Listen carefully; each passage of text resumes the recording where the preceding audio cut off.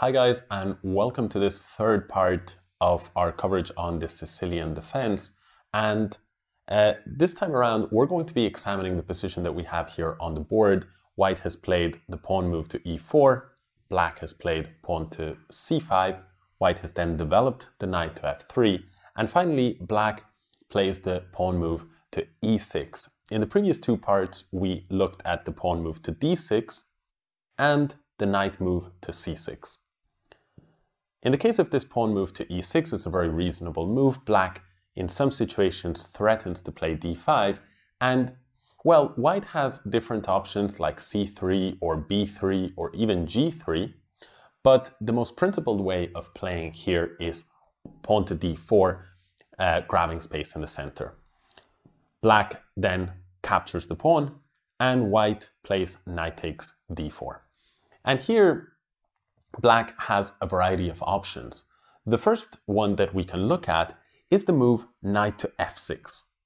Now, this move, it's a little bit of a tricky move, and it's a good one to play against maybe weaker opponents because some of the time they will push the pawn to e5, and here black actually would have the move queen a5 check. So if you're playing the Sicilian as black, then this is a very good trick to watch out for. If not, uh, if you're white, then of course you should be equally careful, equally on guard that you don't push the pawn to e5. Here white would instead defend the pawn with the move knight to c3. Now, in this position here, we have two possibilities. Black can either develop his other knight with the move knight to c6, or he can play the move bishop to b4. The move bishop to b4 is known as the pin variation and is considered to be a little bit dubious in this case, white actually can continue to play e5 if he wishes, but the positions can get extremely messy here. Black, for example, could play moves like knight to e4, and white can respond with queen g4, striking at the pawn on g7, striking at the knight on e4, but leaving his knight here on c3 uh, hanging. So you can imagine that the pin variation of the Sicilian defense while it's a very rare guest at the master level, because master level players have sort of worked out what the best options are, um, at the club level, this is quite a tricky move because white's pawn is under fire, and if white doesn't know how to react properly, if he doesn't know ideas like queen g4, the lines get very messy and uh, the white player can get very scared. Uh, for example, another possible reaction here by a unprepared white player might be to say, well, my knight is under attack. I want to make sure that the pawn on e4 is safe, so I'll play the move pawn to f3.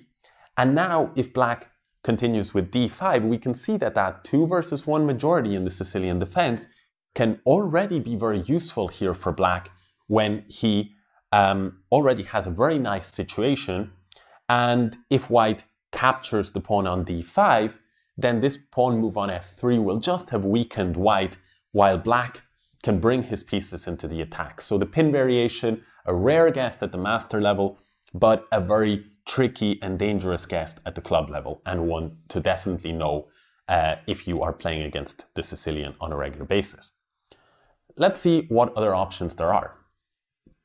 If after the moves knight f6 and knight to c3, black decides not to play the a pin variation of the Sicilian, black sometimes brings his knight out to c6.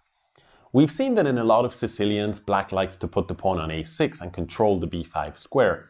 But here, notice that because the knight is already on, B, on c3, white can actually play the pawn move e5 and harass the black knight. Black usually likes to try and avoid such a move, so he could play uh, d6 and go for a Scheveningen setup, but we have already covered the Scheveningen in a different uh, video. So for now, we will look at only this move, knight to c6, which is um, a new move, a new idea, but with a bit of an old twist. What do I mean by this? Well, if white puts the knight on b5, which he very often does, then after d6, covering the d6 square, white goes bishop to f4, striking at d6, and after the pawn move to e5, some of you will realize that we have now arrived, those of you who watched the previous parts may realize that we've arrived at a so-called Sveshnikov variation.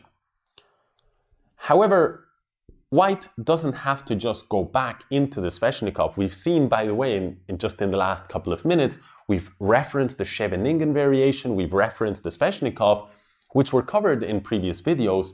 And this goes to show that there are actually many possibilities to switch up the move order and basically reach the same position, but in a different way.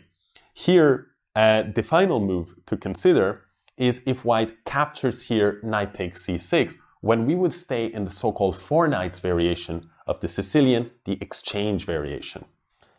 Black captures, and one thing that we notice is black is building up his central pawn mass here, but now that there is no check on a5, white can play e5. With this pawn still backwards and all the pawns on light squares, the dark squares in this variation can be quite weak for black.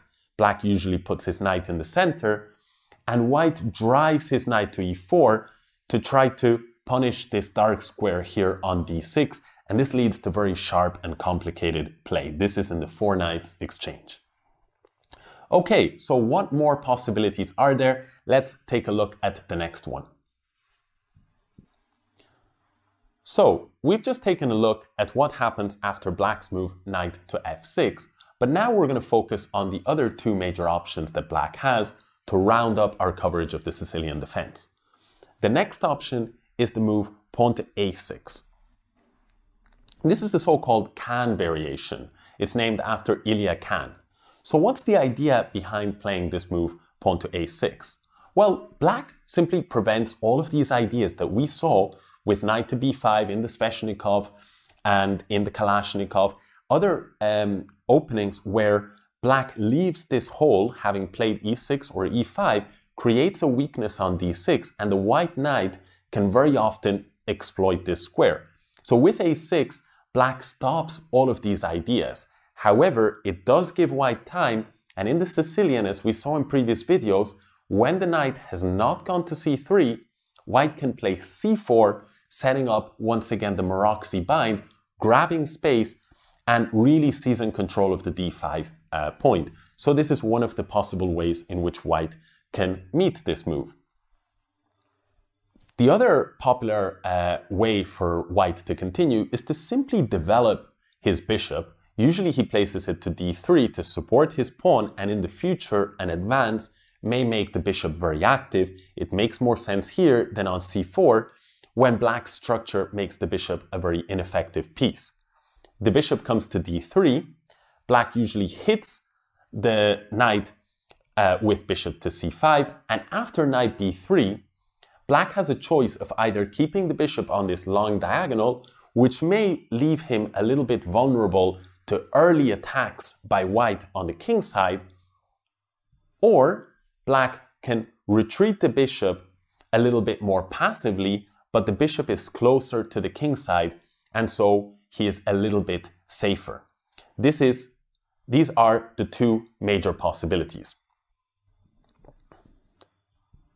Finally, in this position, white can also play with the move knight to c3, and black here, as is very typical in many Sicilian defenses, will place his queen on c7, from where the queen is both on the semi-open c-file and also on the long diagonal from h2 to b8. Black sometimes can even develop his bishop to d6 and form a battery against the castled white king. Other times, black may put his bishop on b4 and put pressure on this knight on c3. There are many different plans that black Kan follow. We can't see them all, but hopefully this gives you a little bit of a feel for this not so popular variation at the club level, the so-called Sicilian can. The last variation that we're going to show is the Paulsen.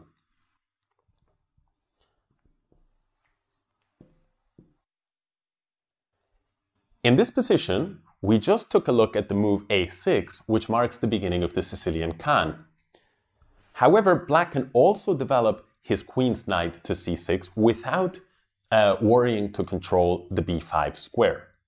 After this move, white usually continues his development with knight c3, and black still refrains from playing the move a6 for now, instead planting the queen on c7. White, by the way, does not actually have to play in this way. White can actually, before moving the knight, the knight to c3, aim to put the pawn on c4, or white can also play for the exploitation of the d6 square with knight b5. These ideas, Maroczy-bind structures, and knight b5 that reminds one of positions like the Kalashnikov or the Sveshnikov, and indeed sometimes can transpose the Kalashnikov or Sveshnikov, should be by now somewhat familiar to us. If, on the other hand, white continues with the move knight to c3, most common is for black to place his queen on c7, for now remaining flexible with what to do with his king's pieces, and also improving his control of the e5 square. The queen on c7 makes a lot of sense because the queen here is on a very long diagonal from h2 to b8 and is also on the semi-open c-file that black possesses. As for what uh, white does from here, he usually continues his development with bishop to e3, supporting his center and preparing the very typical uh, idea of clearing the path for queenside castling. After bishop to e3, black finally decides to control the b5 square. And at this point, we've actually reached a particular, um, let's say, descendant of the Paulsen, meaning that once we get a Paulsen position, we don't always end up in a Taimanov, but we can and very often do reach a Taimanov variation. So here what we have is indeed uh, the opening named after the strong grandmaster Mark Taimanov. Now, after the move a6, white usually plays queen to d2, again continuing his operation on the queen side, and black finally plays knight f6. One of the nice things of having the queen here on c7 is that even if this knight were to disappear, let's imagine knight takes c6 and d takes c6, we see that the queen's control over the e5 square means that white cannot hammer away at the dark squares like he often can in other variations such as the four knights uh, by advancing on e5. The black queen's control is very helpful. Most of the time here, white actually at the master level castles. And this is one of the reasons why this way of setting up as black can actually be a very powerful way to play against club players because many club players will start to very, very seriously worry about the move bishop to b4, pinning this knight here on c3. However, master level players know that this is not really a big deal. It is the main move in the Taimanov, but white can simply combat it with f3. And uh, white is not really worried by either the pawn advance d5, which looks very tempting, since after e takes d5, black would be able to take knight takes d5 when knight takes knight is not an option because the queen falls with check. However, at the more advanced levels, white understands that this kind of d5 move is a little bit premature because after, let's say, the move pawn to a3, if black captures the knight on c3, captures on c3, and goes for the win of a pawn on e4, he may regret his decision to give up this very important dark squared bishop because of the way in which he has set up his pawns. A lot of his pawns are on light squares, and this guy, the defender of the dark squared bishops, is actually a hugely important piece. So really, one of the things to keep in mind about Taimanov positions is that even though black pins the knight with his bishop, most of the time black doesn't actually follow through on this threat. It's more of a bluff than anything else, and it's more really to inconvenience white with the pin. So the threat is in this case certainly stronger than the execution, and most of the time black actually plays with moves like knight e5 to try and generate play on the c-file, eventually pushing the pawn on b5, and actually dropping back this bishop to e7 later on.